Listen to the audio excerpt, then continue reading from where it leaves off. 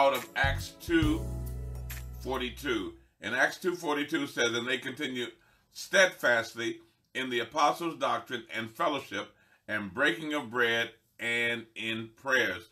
Uh, this is a pattern that we will understand as it relates to gathering from house to house. This is going to be something we're going to really get into. We started this at the beginning of the week and we're going to continue it on until we get through it. I believe in order to function in the Lord's ecclesia, we must position ourselves uh, for availability, and we position ourselves by uh, following uh, patterns and principles that we see in the Word of God.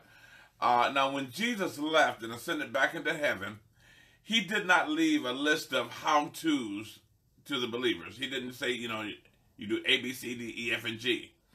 Uh, they had basic instructions. That was they had to go to Jerusalem and wait for the promise of the Father. That's what they had to do primarily. And of course, we all know the powerful outpouring of the Holy Spirit on the day of Pentecost. Uh, but even then, there was no day to day activities manual uh, for them to follow. It just was not there. Uh, praise God. And always, I always thank all of you who post these scriptures online because that helps others who are coming in. Praise God. Now, if you go back to Acts 2 and 41, uh, just prior to the verse uh, where we, we, that we're dealing with in this study starter, uh, the newly filled believers had left the upper room and they were uh, out in Jerusalem. They went into the streets of Jerusalem, and when they be, when they went out there in a few hours, three thousand more became believers uh, and were baptized in Jesus' name. Now that's a remarkable thing to happen very shortly afterwards. Then if you go down to Acts 4, uh, verse 4, uh, and this was a few weeks later, uh, and, and even to the dismay of the religious leaders at that time, uh, another 5,000 people were saved. And so that really blew people away. Uh, what we read throughout the book of Acts is an account of believers navigating their way through this new life in Christ Jesus. Now, the book of Acts touches on many of the physical, emotional, and even spiritual obstacles that they faced, but also that they overcame. Uh, to be clear, uh, what they did was remarkable. When you really think about it, it was remarkable when you consider they had no more than bits and pieces of the Old Testament and the leadership of apostolic ministers, and of course the Holy Spirit to rely upon. That's what they had. You know, now I want to say that because right now, Many of you are watching on your smartphones. You may be watching on your computer, and you may have Bibles in your computer. You may have the entire scripture. You may you have access to so much information on the internet. You have a lot of different things, and it was it would mean to me that we should be able to walk in the same authority and power that they did in the first century because we have so much at our disposal. Today, we not only have the Holy Spirit, but we also have further insights as to how they overcame in the midst of these physical, emotional, and spiritual attacks that they encountered. Uh, we have the direct guidance of the Holy Spirit. We have that. We know we have the Holy Spirit. Uh, if anything needs to be taught in greater uh, detail, is that you can be directed in all things by the Spirit of God. I'm going to say that again. You can be directed by the Spirit of God in all things. The religious mindset has too often uh, limited works the workings of the Holy Spirit to emotional outbursts and hu- the humanistic concept of something told me to do such and such.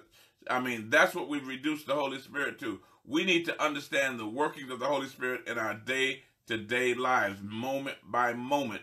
Uh, that should be a common occurrence in our lives. Uh, we have the written account of how the believers walked in the Spirit as a lifestyle. Uh, we have the letters of Paul to various assemblies uh, throughout the regions that uh, brought clarity to the full expression of the Holy Spirit in many situations. Uh, and we see that walking in the Spirit was not rocket science, but rather it was a moment by moment direction uh, of uh, from God that we simply walk day by day and we just simply obey what the Spirit of God is telling us to do at any given moment. Praise God. In Romans 8, uh, verses 26 and 27, we see why Paul wrote, Likewise, the Spirit also helpeth our infirmities, for we know not what we ought to pray for as we ought, but the Spirit maketh intercession for us with groanings that cannot be uttered. Uh, and he that searches uh, the hearts knoweth what is the mind of the Spirit, because he maketh intercession for the saints according to the will of God. You, so, in other words, we have the Holy Spirit who's going to make intercession for us, who's there for us, who's leading and guiding us into all truth. And we can go into all of that. But I want to get you to a specific place this morning. Uh, one thing must be kept in our heart at all times is that the Holy Spirit never directs us outside of the will of God. Uh, that is why searching the scriptures daily with other believers is so critical to your maturity. I really firmly believe that. That's that Acts 242 model that we're going to spend time into. They continue daily in uh, fellowship, breaking of bread and fellowship, in the apostles' doctrine, breaking of bread and fellowship, and in prayers. Uh, and the word of God will reveal the will of God. Uh, we discover uh, that in this study, the enemy's primary attack is to pervert the word of God, and but he never disputes it. I, I picked that up as I begin to look at scripture. The enemy of God primarily tries to de- pervert the word of God rather than to dispute it. Now, just take a moment to consider that. Just let that sink in for a moment. Any attempt to pervert the word of God is actually an acknowledgement that the word of God is true, that it is valid, that it is powerful. And and and so if you want to pervert it, what you're trying to do is to try and take away what it really is, and trying to hide its truth, trying to diminish its power and take away its validity. That's what perversion is all about. So, in other words, you don't pervert something that is already perverted. No, you pervert something that is good and powerful. So you want you're trying to change it. Uh, just let that med- uh, marinate in your spirit sometime today. Amen. Jesus said that deception would be the primary tactic used to defeat believers. Matthew 24 and 24 says, For there shall arise false Christs and false prophets, and show great signs and wonders, insomuch if it were possible. I love it the way it puts that in the King James. If it were possible. I know other translations have it uh, says if possible, but I love in the, in the King James says if it were possible that it would deceive the very elect. If it were possible, the if it were possible uh, suggests that the chosen of God really can't be deceived. It is not possible to deceive them because they are aware of the tactics of the enemy to be clear, you and I are the elect. We, you and I are the chosen of God. It is not some iconic person up here. You and I are the elect. Uh, you hear me say that churches we know it is in transition. You hear me say that quite a bit. Uh, there will be structural changes, and that's in how we gather. I believe that in all my heart. Uh, there will be doctrinal clarity, uh, and this is we'll understand more and more why we believe what we believe. We'll get that. Uh, there will be governing clarity. Uh, the roles of leadership will shift from the, its hierarchical stance. Uh, so a lot of these things are going to happen in this time of transition. What is critical, what is critical for us to understand is that during a transition, the enemy seeks points of entry to deceive believers.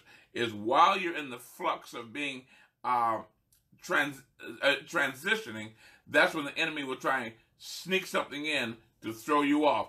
And that's why it is important that we study these enemy's tactics. We don't glorify the enemy, but we need to be wise as to what he's doing. The Bible says we're not ignorant uh, of his devices. So before we can study Acts 2.42 uh, about the apostles' doctrine, uh, fellowship, breaking of bread, and, and, and prayers, before we study that, we need to understand uh, that we need to see quickly uh, and discern quickly when the enemy tries to uh, throw something in that will throw us off guard. Now, in our previous session, we began outlining six components uh, and factors that the enemy uses to deceive. And again, the purpose of deception is to pervert the truth in order to suppress the power and ultimately defeat uh, the believer. Uh, throughout the letters that Paul and Peter wrote, uh, they exposed demonic traps the enemy would use to try and thwart uh, obedience to the Lord. And the six areas that we're going to discuss are beguiling, bewitching, sorcery, feigned words, blindness, and false Christ. Now, beginning with beguiling, we've already dealt with that. That is the use of charm to try and get somebody in. Uh, the serpent, the, the serpent beguiled Eve. Uh, and in other words, you'd be so much better if you just eat of the tree. You know, have you driven a Ford lately? You know I mean? That kind of a concept. You try and charm them and you draw them in by really making them feel good about doing something bad, you know? So that's charming them. Then there is bewitching. Uh, that's to cause amazement, uh, uh, usually for self promotion. Amen. Uh, and, and, and you promote yourself as some great one, like Simon the sorcerer. He bewitched them.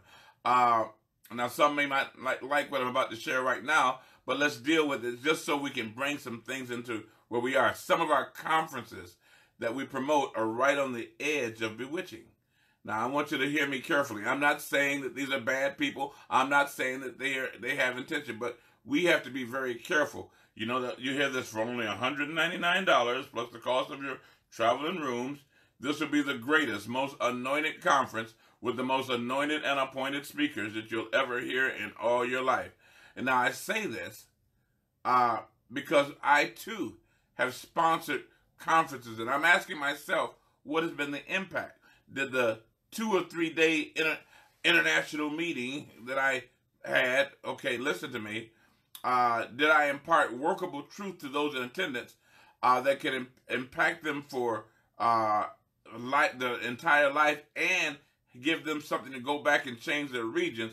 or, or did, was it just something that I promoted that we found a way to do something that made it a little profitable for us to do this? We we must be very careful and prayerful to discern our motives. Now, am I saying we shouldn't have gatherings and large things like this? Absolutely not. I'm not saying that, but I do say we need to really check our motives. Praise God. That's your free part. Let me go on. Amen. Now, in our last session, we were dealing with the issue of sorcery, closely linked to uh, bewitching is sorcery, and that's the use of magic, uh, doing one thing and making it appear as another. Uh, a look into Simon and Bar Jesus, uh, they were both called sorcerers, and there were several things that revealed their their methods, what uh, sorcery does. And I want to just give you a quick look look at them. Uh, they promote themselves as being great. That's a sign of sorcery. it is closely intertwined, intertwined with the prophetic. We need to take a look at that. It often attaches itself to legitimate authority. In other words, they, they create validation by association. Um, it uh, turns those seeking the word of God away from the truth. Now, that's a real tricky one. You're going to see that later on. Uh, they turn themselves because they'll use the word of God to turn people away from the word of God. Now, now follow me. Uh, they they they turn people those seeking the word of God. They'll turn them away from the truth and they pervert the word of God through physical and verbal magic and trickery. That's what they end up doing. This leads us to this next enemy uh, of our of our faith, the thing that the enemy will use to try and deceive us, and that is feigned words. And I want to spell that so you'll get that right. Feigned, F E I G N E I D words. Feigned, F E I G N E D. Feigned words. I want you to get that. And what are feigned words? They're fictitious words twisting and molding to create a narrative. This is what uh, feigned words is all about. How one articulates does not mean that they are accurate. Uh, let's call it magic of the mouth. Um, there was a man in the Old Testament named Ahithophel. He, uh, the Bible says he spoke as of the oracles of God. When you heard him, he sounded so eloquent. He sounded good. And the thing is that he was the one who counseled uh, David's son as, as to how to overthrow him. In other words, he sounded good and he could sounded good. And he was, but yet his words were used against uh, the man of God in that time. So you have to be careful listening to people who are extremely articulate. This is not saying that you should not talk with some sense. Just because you want to talk in any kind of way don't mean no. No, you need to really be able to understand and discern what is being said. Uh, in Second Peter chapter 2, verses 1, 2, and 3, we read this. But there were false prophets also among the people, even as there shall be false teachers among you, who privily shall bring in damnable heresies. Note the process. They, they, they, they bring these things in, they begin to set these things in, are even denying the Lord that brought them, and bring upon themselves swift destruction. Now, I want to share this again. Unjudged prophecies and unexamined teachings are dangerous. That's why I encourage you to study. Amen. If you, you know, you have a right to judge any prophetic word given to you. You need to examine teachings to see if they line up with the whole counsel of Scripture, not just a, a little piece that's brought out here and there just to get a point across. But you need to make sure they follow the entire narrative of the Word of God. Let's go on. Second Peter 2 and 2. And many shall follow their pernicious ways, by reason of whom the way of truth shall be evil spoken of. Get this. And through covetousness, get this, through covetousness, desire for personal gain, for that reason shall they with feigned words, that's verbally twisting and pervert the truth, make merchandise of you. In other words, they're going to use you for their personal gain. They'll make merchandise of you because uh, you become a product, if you will, to help them become everything they want to be. The Bible says, whose judgment now is of, uh, of a long time lingereth not, and their damnation slumbereth not. With feigned, within feigned words is the perversion of truth for personal gain. That is the one thing you need to get. Truth twisted is dangerous. You need to learn to discern. Truth twisted is dangerous. Learn to discern. Get with others. Avoid private interpretations. Uh, listen, in our journey over the years, my wife and I have had the opportunity to meet with individuals uh, who you've probably seen on national television. And I'm not saying that as a point of bragging, but you know, we've just been blessed and, and had the occasion to meet with some of these people. I learned some things troubling about the inner workings of some of these national ministries. That's the point I want to get to. One thing is that certain teachers are recruited for fundraising purposes. Uh, that really just caught my attention. They have a skill to take just about any scripture and make it an appeal for you to give money. I mean, you name the scripture, they could take the words Jesus wept, and before it's over, uh, they will find a way for you to be giving your money over Jesus weeping. I mean, it's just the way that they are. Scripture is used totally out of context, uh, but often the notoriety of the speaker, because they have been promoted as some great one, uh, gives the impression that what they're saying is valid. Uh, and there's often a blatant use of both sorcery and feigned words. So you need to get this. Uh, have you ever noticed?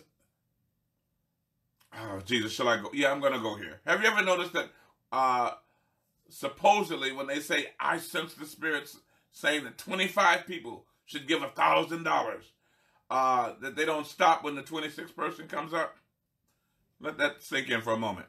Why is it that the benefits of giving is usually attached to material gain? It's usually not attached to the heart, but always attached to some spiritual gain.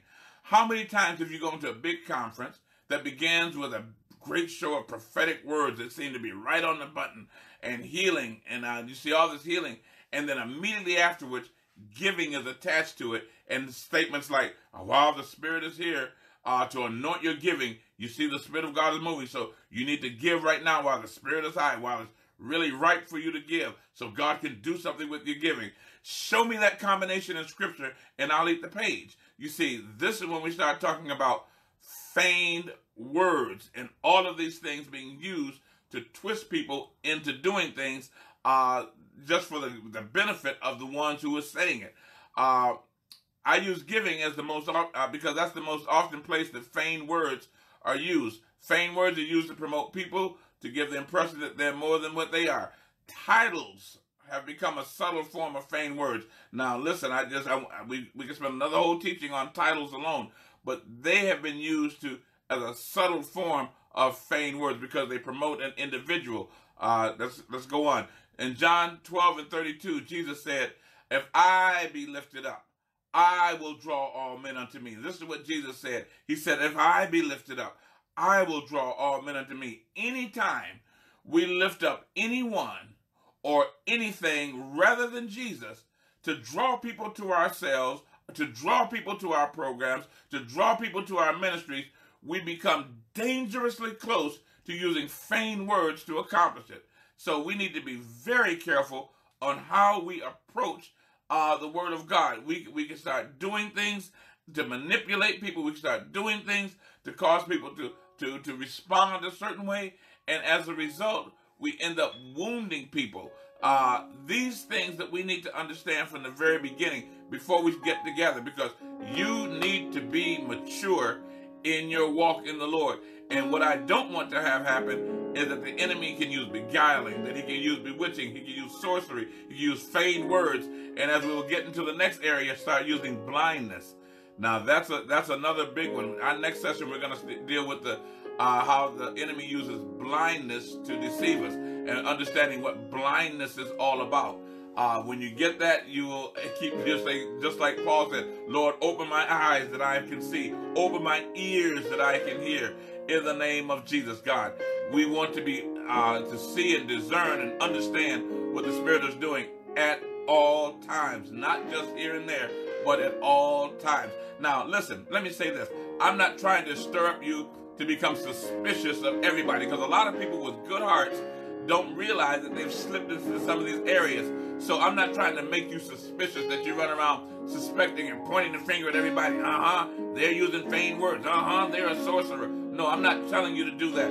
I am telling you to learn to discern by the word of God. And then we will have to show you then once you discern how something is done, how do you respond when you find somebody who is a good person uh, just by uh, tradition using feigned words, just by tradition uh, uh, doing something that is off kilter, but yet they don't realize it. Oh my God, this is this is gonna get fun. This is gonna get great. We're gonna study it. Praise God. Thank you for tagging your friends. Thank you for uh, sharing this on your timeline. Thank you for praying for us. That's the biggest thing right there. I just bless you for it. God is doing what He's gonna do. Amen. And He's doing a great thing in you. I believe Jesus is still building today with believers just like you. Because at Caesarea Philippi, he said he would build his ecclesia and the gates of Hades will not prevail against it. You are powerful in the name of Jesus. Lift up your hands and say, Lord, I thank you and I bless you for all you're doing in my life in Jesus' name. Well, thank you for being with us today and always remember that God is still on the throne. The devil is defeated and Jesus is Lord. You be blessed. Thank you for watching this study starter. If you enjoyed this teaching, please give us a thumbs up below. By doing so, you can help us reach many more people. Also, if you haven't already done so, please click the subscribe button so you won't miss any future study starters. There are many more segments to come. Again, thank you for watching and we hope to see you again soon.